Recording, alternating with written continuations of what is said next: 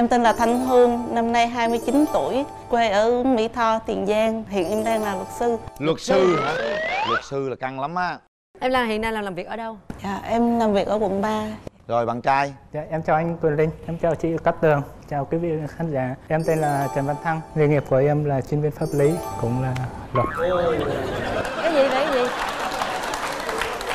hai người nói chuyện luật với nhau cũng căng à Dạ vâng, đúng rồi, em cũng rất là thích có một bạn nữ là cùng học luật ra. à bạn bao nhiêu tuổi Dạ, em 30 tuổi chị. 30 tuổi 29 gặp 30 đó bây giờ mình giới thiệu một chút xíu về năng lực của mình đi điểm mạnh và điểm yếu của mình Dạ, cái này khó chị. Đâu gì đâu khó. Điểm mạnh không có, điểm yếu thì nhiều. à, thì điểm yếu đi cũng được Điểm yếu nhiều lắm. Hay quên hay quên đi cãi với người ta luật sư mà hay quên là sao Dạ, nhưng mà cãi với người ta là chuyện mà cái chuyện hay quên, mấy chuyện nhỏ nhỏ nhỏ nhỏ, nhỏ em hay Ờ. quên lắm. Dịu dàng thì ít mà nói chung là em hơi nam tính một chút em sợ là về nhà rồi gặp bạn bên đó pháp lý rồi đụng luật sư hai bên cãi nhau khó chữa. Lắm chà cũng căng à ha. Bạn trai thì sao bạn? Bên đây là vậy đó.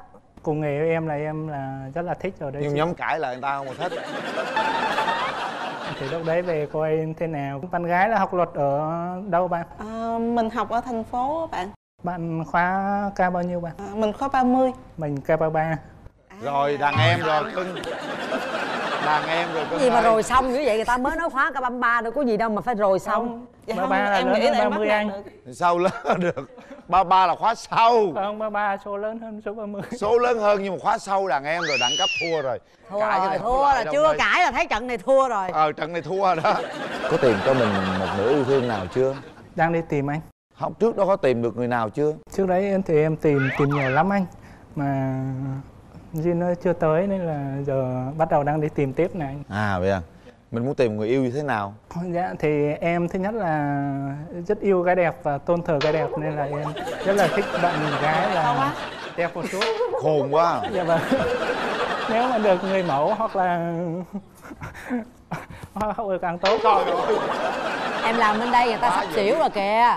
Ý luật sư khóa 30 bển sao? Dạ nhan sắc của em thì bình bình thôi anh nhưng bên bên đó yêu cái đẹp em sợ mình tự tin lên bạn. Trời ơi chứ gì kể. Em có bao nhiêu mối tình rồi? Em không phải em toàn đơn phương thích người ta thôi à. Thành ra là tính mối tình không được. Chưa có mối tình nào chính thức hết. Chà lý do tại sao em ế? Em cũng không nghĩ em ế mà chắc tính của em hơi à, men chút. Nhưng mà 29 tuổi là hơi lớn rồi đó nha em biết mà. Bây giờ muốn lấy chồng chưa? Cũng muốn rồi gia đình có hối thúc gì không? Gia đình thì cũng hỏi từ năm em mới ra trường hai ba hai tư gì đó. Vậy mình phải mạnh dạn lên một chút xíu nữa. Dạ đúng rồi nhưng mà em tán các bạn kêu là bạn thích chơi với em như con, con trai hơn Tại vì mình phải nữ tính một chút. Chứ bình thường em chơi với mấy bạn kia em chơi cái gì? Thì đâu có gì đâu đi chơi đánh nhau. Chơi đánh nhau trời. Chơi, chơi đánh nhau là chơi gì? Cái gì? Chào anh. Chào em em nói cho sợ quá tôi thích chơi đánh nhau hả? Dạ phải tại hồi xưa em học võ. Trời ơi! Thích chơi đá banh. Em không có đá banh em học học võ đa đa đánh nhau thôi hả? Trời ơi kinh khủng khủng quá. Em ờ, em nói em em men quá hả? Dạ có hơi hơi. Hơi em thích đàn ông hay đàn bà? Cũng thích đàn ông. Rõ ràng nha. Dạ hỏi võ võ đai gì thôi. Đai gì? Ừm, dạ em da đen. Trời ơi! Trời ơi đứng đây hồi chắc đánh phù mỏ quá bên kia em tuyên bố cũng hơi sốc hàng quá. Dạ. Muốn hoa hậu càng tốt thích cái đẹp. Mà ổng có đẹp không vậy? Không. Nói chơi chứ dễ thương lắm. Em không thích đàn ông gì. Không thích người vô duyên hả? Vô duyên. Có không? Em cực kỳ vô duyên này. Rồi gì nữa? Ít nhất là cũng khỏe ốm yếu à hả? Ốm yếu em không thích. Có, có ốm ốm yếu yếu không Anh nhìn thấy em thì chắc là cũng ốm nên quá yếu. Nãy giờ em không thích hai cái có hết không cái vụ yếu đây chị sẽ kiểm chứng cho. Ừ rồi bây giờ em yêu cầu à, người yêu của em phải phục vụ em những cái gì cho mình có thể mình à, mình vui. Rủ em đi chơi ờ, nấu cơm cho em ăn chọc cười em. Câu dễ vậy đó hả? Dễ tính lắm. Trời ơi tôi dễ ẹt à ông nội ơi? Dễ tính lắm. được đúng không anh? được. Dễ tính lắm mà sao ế ta? Hồi đó giờ toàn đi cua người ta không hả? Dạ đó chưa ai cua em hết hả? Thì đó mấy bạn kia em dễ tính quá mấy bạn sợ. Cái mẫu bạn trai em thích là cái người như thế nào? Qua coi nè. Cao hơn em một chút. Em cao mét mấy? Em cao mét 55 thôi. Bạn cao khoảng mét 65 trở lên là được. Ok. Ừ, cao cao vai rộng ngồi đằng sau xe ôm sướng chị à, mày ôm ôm cứng ngắc luôn. Cười đẹp.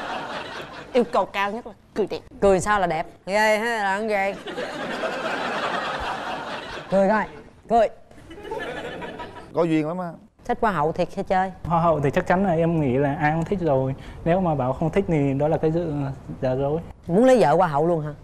Các bạn ôi nếu được là đồng ý liền. Vậy là nói thiệt mà anh linh anh nói nói giỡn. Giỡn nói nói thiệt kìa. Nếu được thì lấy mà không được thôi. Em không thích cái gì ở người bạn gái? Em không thích là bạn gái là dữ quá không biết quan tâm tới người khác. Em nghĩ sao nếu mà trong một cái ờ, sự bất đồng quan điểm cãi vã mà bạn tay lỡ tay tát người con trai một cái bóp. Chắc là hai người ao luôn. Không, không được. Nếu ai đó tác mình một bên mình đưa má bên kia tác luôn. Đúng rồi. Chứ ai lại lại lại ao luôn? Có tát lại bạn không? Em không bao giờ đánh phụ nữ.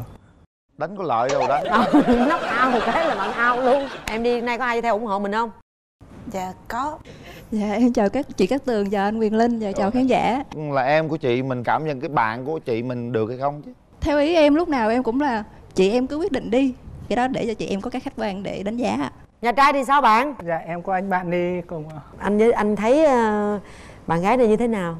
29 gặp 30 là được rồi ấy chị. À. Quan trọng là hai bạn có tiến tới với nhau hay không thôi. Rồi cảm ơn à, hai bên đàn trai và đàn gái. Thôi giờ mình kéo màn cho hai người nói chuyện. Không đúng em thấy cặp này mình không có ý kiến gì nổi đâu anh linh à. Luật sư chỉ để cho hai người này gặp nhau đó. thôi. Kéo màn chỉ có hai phút thôi nha đánh nhanh rút gọn. Chào bạn. Mình có bó hoa trong bạn. Bạn nói trước đi. Không phải tại vì cái lúc mà đưa ra tiêu chuẩn bạn trai á thì mình có nêu một cái tiêu chuẩn đó là ít nhất cũng phải có khả năng cõng bạn gái lên được 3 tầng lầu á. Cho nên là mình thấy bạn hơi mỏng manh mình sợ. Như bạn mình đáp ứng được. Có thể là bình phương lên là chín tầng quá không? Cộng thử đi. Thử đi. À, ở đây. Thử đi. Có gì đâu ngại. Thử coi thử nổi đi không bạn. Thử lên.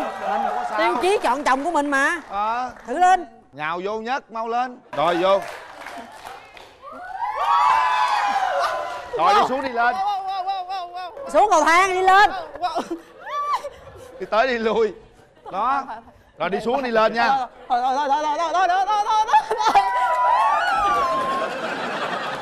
thôi để người ta nghe cái bịch gì đó mệt quá rồi thôi nói chung cũng được cũng khỏe cũng khỏe được không dạ khỏe rồi vậy được rồi tiêu chí đầu tiên được cảm nhận về nhau đi bạn mình thấy bạn cũng xinh đẹp thi hoa hậu được chưa được nhưng thi ở trong lòng em là được bạn đợt trước học luật gì à, mình học luật thương mại ừ, đợt trước ấy là mình thi không đậu.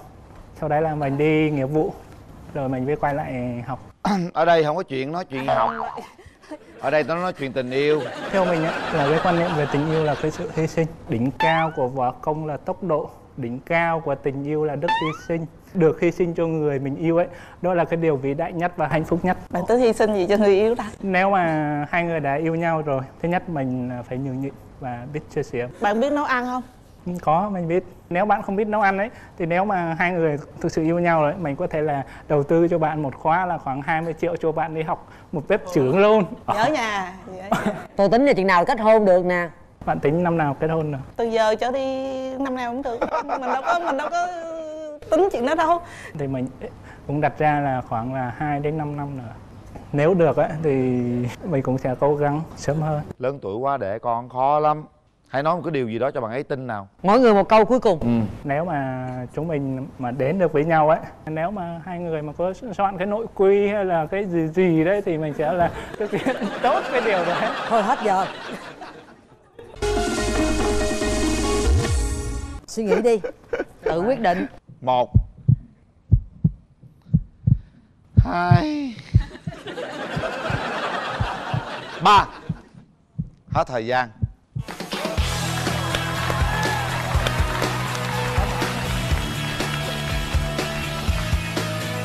hợp mà, vui mà. Hai người này lấy nhau vui lắm. Nào, nãy ẩm rồi, giờ nắm tay cái để mình cảm nhận lần đầu tiên gặp mặt nào. Nói gì nói, chúng ta sẽ có thời gian để tìm hiểu nhau kỹ hơn. Chúc hai bạn à, nhiều sức khỏe.